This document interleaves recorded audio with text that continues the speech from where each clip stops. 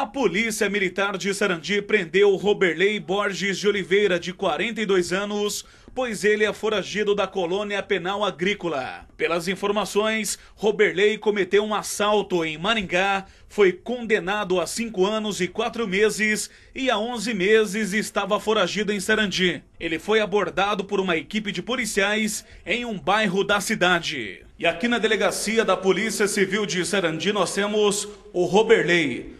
Há 11 meses que você está foragido, é isso, Roberley? É verdade. 11 meses. É mesmo. Você, o que, que você ganhou? Você ganhou uma liberdade para você vir aqui em Sarandi e não voltou mais? Vim de portaria. De portaria e não voltei mais. Não quis voltar para lá? Não. Lá não manda ninguém embora, né? Chega lá, é os de lá 30 dias vão embora e os de daqui 10 meses não mandam embora. É, você veio visitar a família?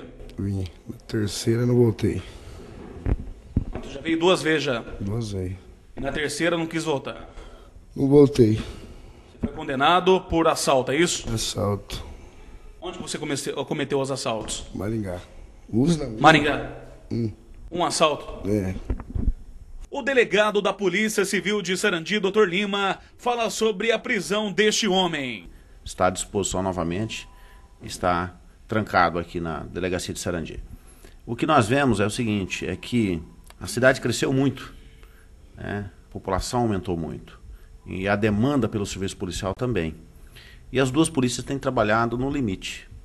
Mas nós vamos intensificar ainda mais os trabalhos aqui no sentido de coibir né, esse aumento da criminalidade. E a Polícia Militar e a Polícia Civil vão trabalhar em conjunto. A polícia trabalha, principalmente a Polícia Civil, trabalha com base em informações. A elucidação dos crimes parte muitas vezes de denúncias anônimas feitas no telefone 181, tá? Porque quando a gente não tem nenhuma pista, essas denúncias nos dão uma norte, nos dão uma luz para começar a investigação.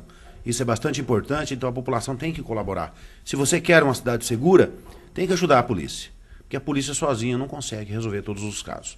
Então, muitos, muitos casos são resolvidos através de ajuda da população.